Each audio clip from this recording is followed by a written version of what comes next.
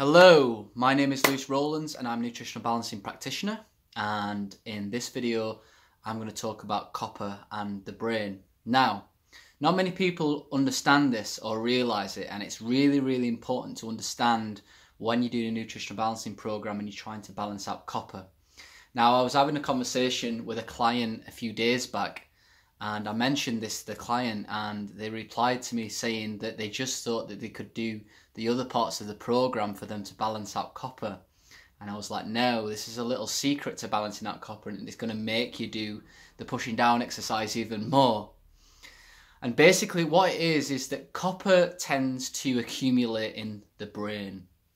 Now, it's a stimulant, it excites the brain. And one really, really important thing to realize is that the brain uses copper in order to enhance the thinking uh, of the brain. It, it, it uses copper to um, allow the brain to keep up a high speed in someone who naturally overthinks. So, unlike mercury or arsenic or these other toxic metals where the body literally has no use for them, copper is actually a very, very important um, element for the body. Very, very important. It's used in so many different things, and a lot of people think that you know copper's the enemy, and you know we need to get rid of copper. And it's like, no, it's not the case. We don't want to get rid of copper. We want to balance copper out. And one of the uses that copper has is to keep a brain active, to keep the mind thinking.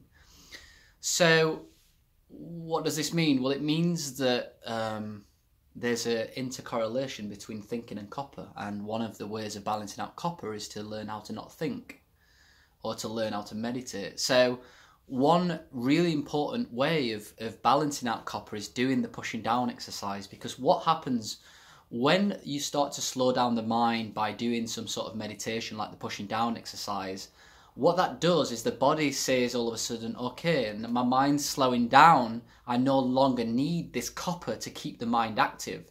So it actually detoxifies copper.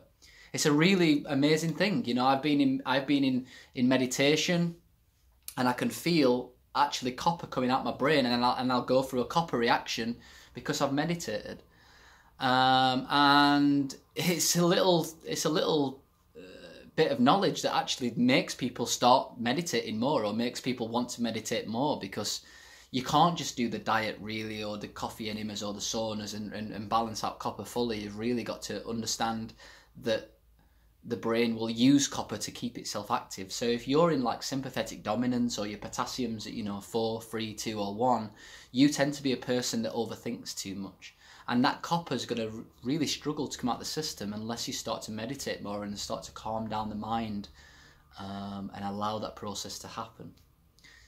So that's all I really wanted to say. I didn't want to go into this too much and make this a long-winded uh, video, but it's just for the people out there that overthink, for the people out there that are in sympathetic dominance, and just for the people that don't understand this it's really, really important to learn to calm down and learn to slow down the thinking through the pushing down exercise because that's one major player in detoxifying copper, in balancing out copper, um, and actually retaining zinc.